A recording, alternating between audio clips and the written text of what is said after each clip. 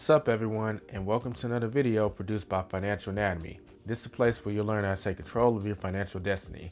On this channel we talk about apps that involve money and real estate and we're going to be covering the Cash App and PayPal app in this video. Specifically, how do you transfer money from your PayPal account to your Cash App account using a bank transfer.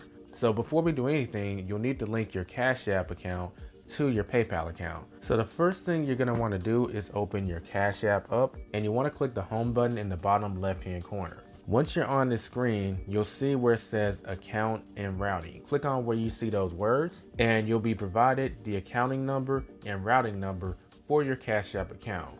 This will be important in a sec, so you wanna have these numbers ready, so to speak. Next, you wanna exit out of that and open up your PayPal app. And when you're on this screen, you want to click your wallet button in the bottom right hand corner. This will take you to the places where you can link a new bank account. Click on Banks and Cards and hit the plus icon. From here, click on Banks. You'll then be taken to a screen where you can search what bank you want to link.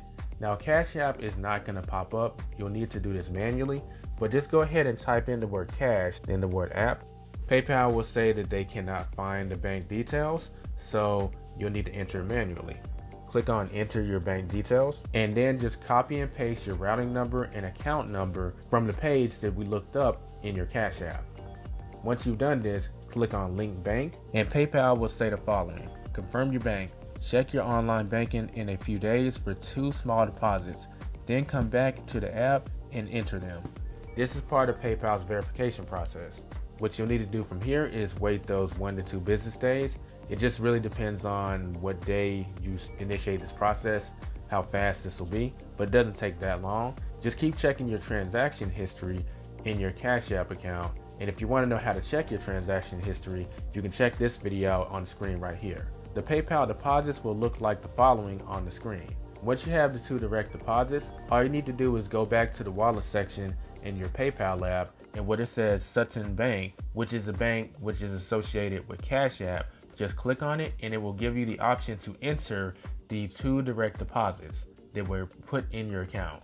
Once you've done this, your account will officially be confirmed and it will be available to transfer money to and from. Now that that's done, let's actually cover how to transfer money. To start off, you'll want to open your PayPal app up. Obviously, you want to make sure you have some money to transfer to your Cash App account. Assuming you do have that, you want to click on your balance, which in my case is $12.11, uh, and scroll down to the bottom where it says transfer and click on that button. You'll then be brought to this screen, basically explaining how transfers work. Now, you don't want to select the in minutes because that would transfer to a card. What we're going to be selecting is an option where there's no fee, but it'll take one to three days. Once you click on that option, you'll be taken to this screen where it will ask you exactly what bank do you want to transfer money to. You want to click on the Sutton Bank, which is the bank that's associated with Cash App. Once you have set this up, you can choose how much you want to transfer to your Cash App account by clicking the balance at the top of the screen and editing the numbers. If you want to transfer all your balance though, just go ahead and click on transfer now. Once you've done this, you'll be taken to this screen. Your money is on the way. After one to three business days, you can open your Cash App up and see the money in your account. It will also appear in your transaction history. That in a nutshell is how you transfer money from PayPal to Cash App using a bank transfer. That does it for this video. If you have any other questions or comments, feel free to leave them in the comment section below.